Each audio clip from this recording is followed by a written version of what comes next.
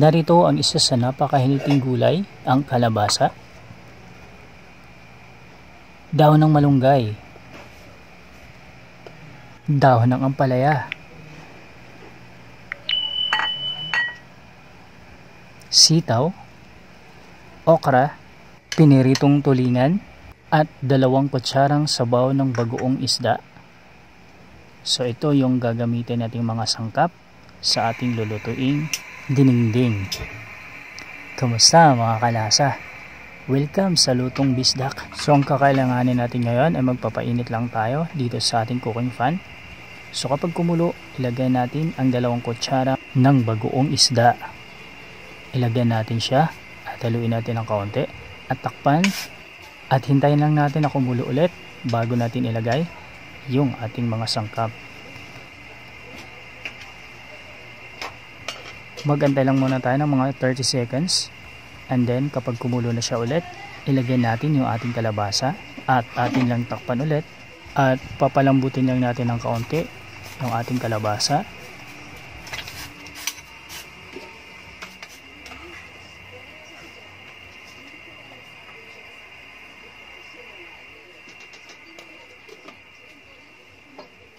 At sa pagkaraan ng ilang minuto, i-check natin yung ating kalabasa kung ito'y malambot na para pwede na natin ilagay ang ating susunod na sangkap.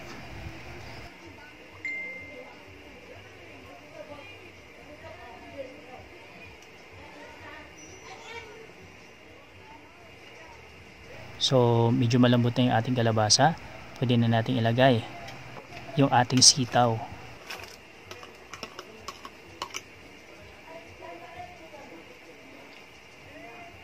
At takpan lang natin ulit ng ilang mga minuto pa.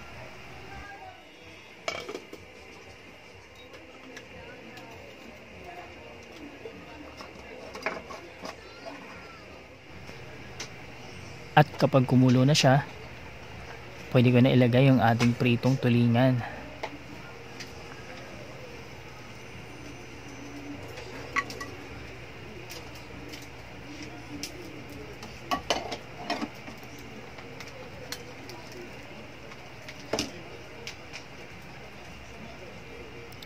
Isunod na rin natin yung ating okra.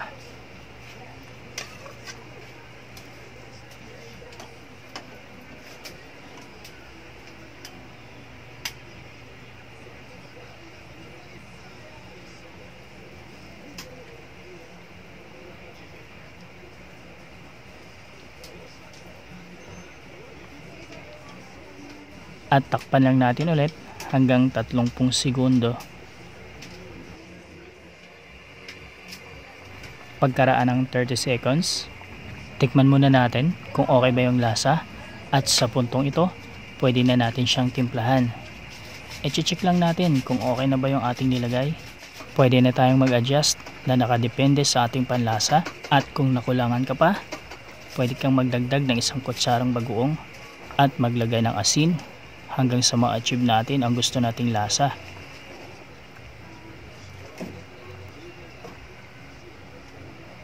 At kapag okay na, takpan natin hanggang ilang mga segundo.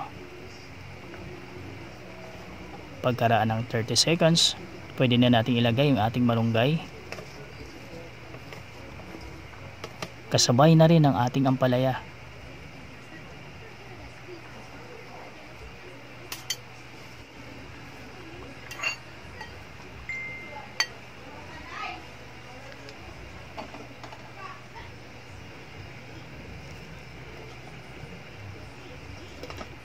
Takpan lang muna natin. After ng ilang mga segundo pwede na itong ihain. So ready na ang ating napaka healthy na diningding so ito yung isa sa mga reseping pinakagusto ko. Dahil sa bukod sa napaka healthy ang sarap humigop ng sabaw. So mga kalasa tara kain na tayo. Okay, hanggang sa muli. Maraming salamat sa inyong panonood. Ingat!